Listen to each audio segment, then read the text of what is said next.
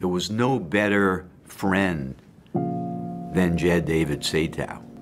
He was very kind and sweet. Incredibly charismatic. He was able to kind of hone in on what was funny about something. There's no one who yelled louder for his teammates. Yeah, when he left for college, it was really exciting. I was very close to him, and I always felt I understood him.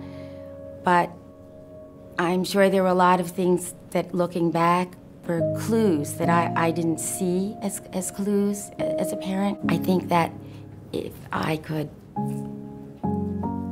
if I could go back, that's, I wish I could go back. Um,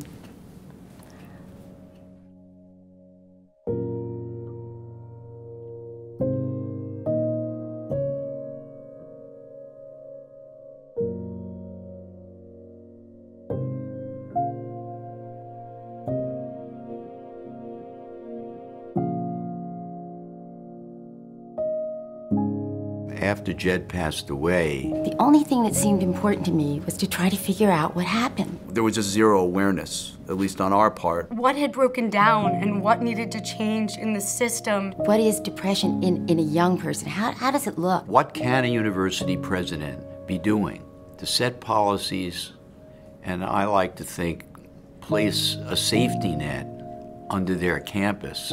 I didn't know any other reason to start the Jed Foundation or for it to exist than to try to make sure that this doesn't happen anymore.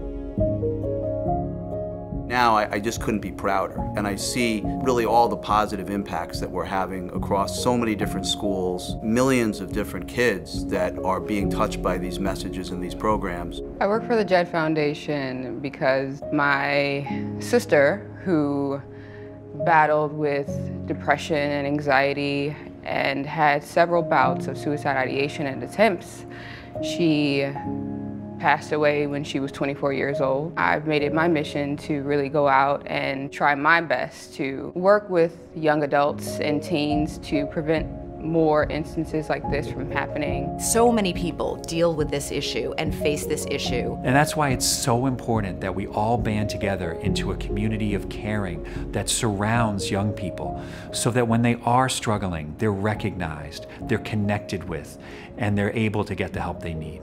So when I think of the idea of a safety net, I really think about not only the policies and systems at a school or in a community, but also the people, the friends, the family, the teachers, the administrators, the professors who are around a young person. And how can we make sure that all of those people who care about the teens and young adults in our country are working together to provide people with the supports and systems that they need to thrive and be healthy? We know that JED is very important in terms of helping young adults feel more comfortable talking to each other about mental health issues, helping them to feel comfortable reaching out to friends if friends are struggling. They want a place, a venue to talk about these experiences. They don't want to be silenced. They don't want to be encouraged to be secretive. This is a generation that's very real and very honest about how they feel and what they want. You have to tap into the students in order to know what they're going through and what they're dealing with. I think one of the ways that we really see students being impacted comes from the national movement of JED, and a student oftentimes will look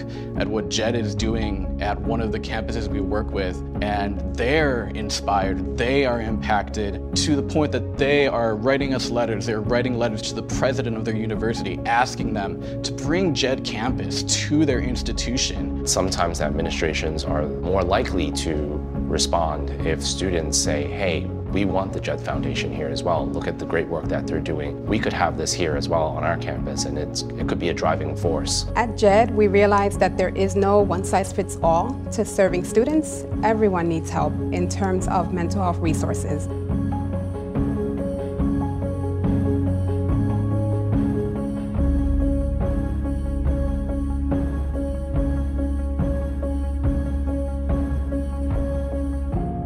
One thing I want people to know about the work that I do at JED is the impact that we're having. We're reaching millions of young people and the families, teachers, and communities that surround them. I work at the JED Foundation because I think that life is worth fighting for. Everyone has a purpose, they deserve to be here, and I think if we at the JED Foundation can make a difference in someone's life, then that's um, just truly the most important thing.